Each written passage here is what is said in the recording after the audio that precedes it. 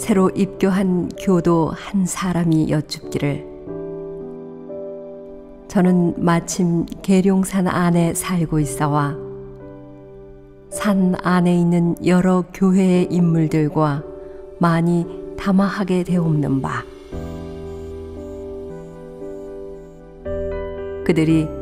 항상 각자의 교리를 자랑하며 말마다 도덕을 일컬으오나 아직도 그 뜻에 밝은 해답을 듣지 못하였사오니 대종사께서 그 도덕의 뜻을 가르쳐 주옵소서. 대종사 말씀하시기를 그대가 이제 도덕을 알고자 하니 그 마음이 기특하나 도덕이라 하면 그 범위가 심히 넓어서 짧은 시간에 가히 다 설명할 수 없나니라. 그러므로 그대가 이 공부를 시작하여 상당한 훈련을 받은 후에야 점차로 알게 될 것이나 이제 그 궁금한 마음을 풀기 위하여 우선 도덕의 제목만을 대강 해석해 줄 터이니 자세히 들으라.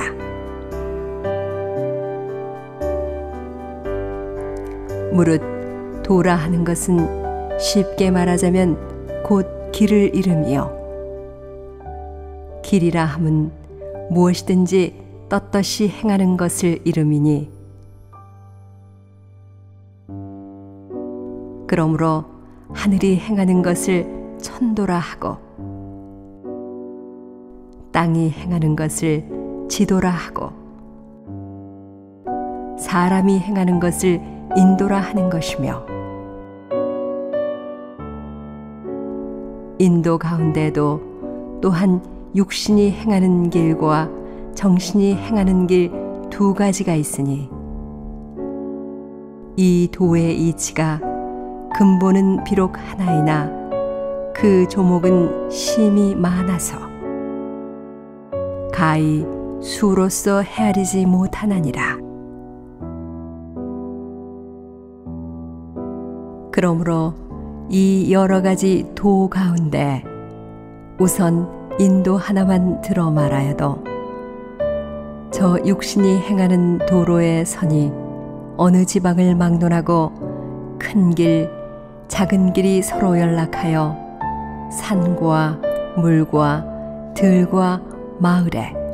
천만 갈래로 뻗어나간 수가 한이 없는 것 같이.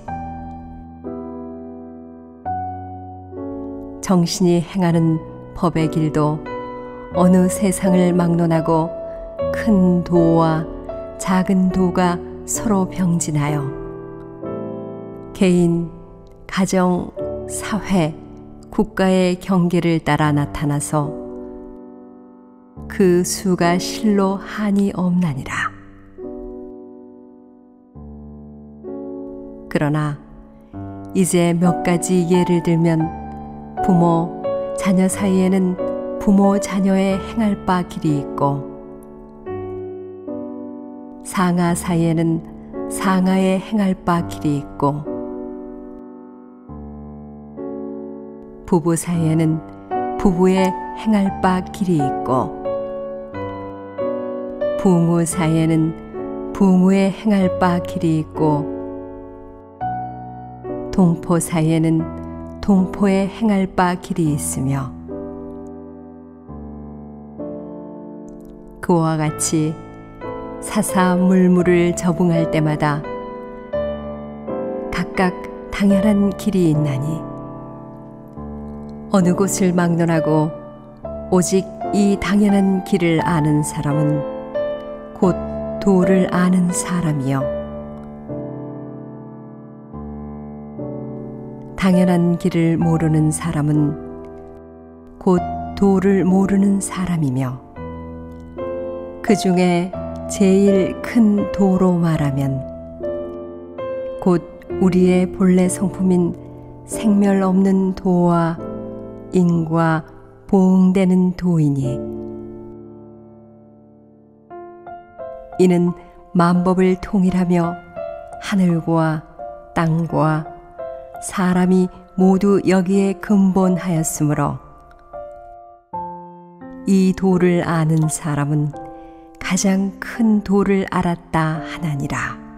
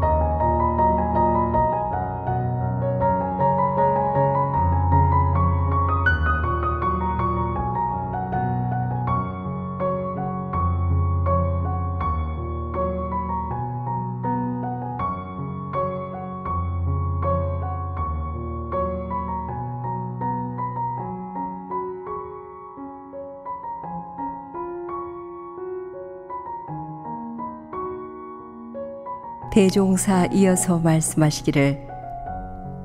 덕이라 하는 것은 쉽게 말하자면 어느 곳 어느 일을 막론하고 오직 은혜가 나타나는 것을 이름이니 하늘이 도를 행하면 하늘의 은혜가 나타나고 땅이 도를 행하면 땅의 은혜가 나타나고 사람이 도를 행하면 사람의 은혜가 나타나서 천만 가지 도를 따라 천만 가지 덕이 화하나니라. 그러므로 이 여러 가지 덕 가운데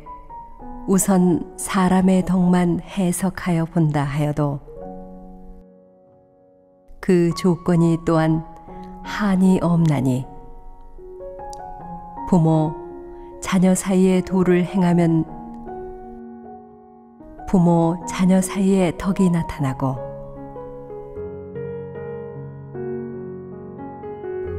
상하 사이에 도를 행하면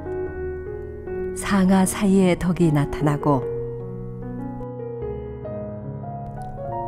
부부 사이에 도를 행하면 부부 사이에 덕이 나타나고 부모 사이에 도를 행하면 부모 사이에 덕이 나타나고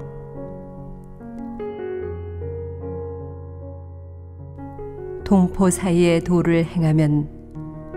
동포 사이에 덕이 나타나서 개인에 당하면 개인이 화하고 가정에 당하면 가정이 화하고. 사회에 당하면 사회가 화하고 국가에 당하면 국가가 화하고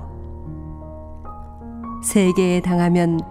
세계가 화하는 것이며 그 중에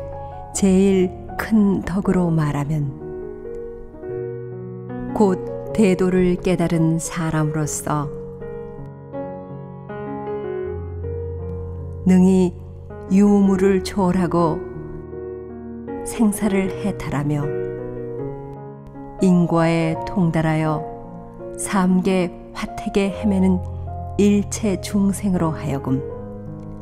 한 가지 극락에 안주하게 하는 것이니 이러한 사람은 가히 대덕을 성취하였다 하리라.